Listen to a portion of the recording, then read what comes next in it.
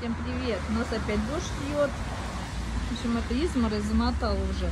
Вот хочу сказать, у нас вот эти вот рамы на окнах, они двойные. Я помню, когда была маленькая, бабушка всегда их доставала каждую ну, весну, снимала вторые рамы, вот те, которые дальние, да, внутри которые дома, убирала их на чердак, под крышу туда высоко, корячилась.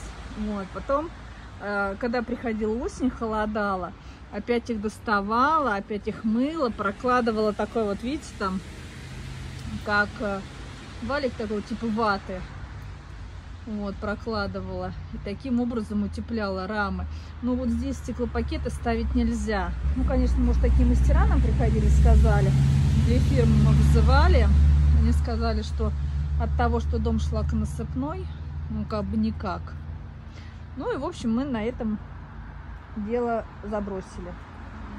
Вот. Тут у нас капуста большая такая уже. Качаны здоровенные. Там еще немножко кабачков есть. Ну и как бы все, что сезон заканчивается, что же тут ждать.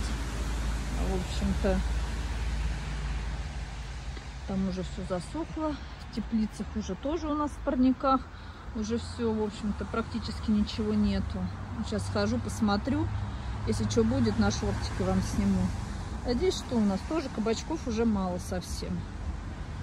Вот они такие остатки. Так что вот так. Так что всем пока. Подписывайтесь, ставьте лайки, пишите свои комментарии. Пока-пока.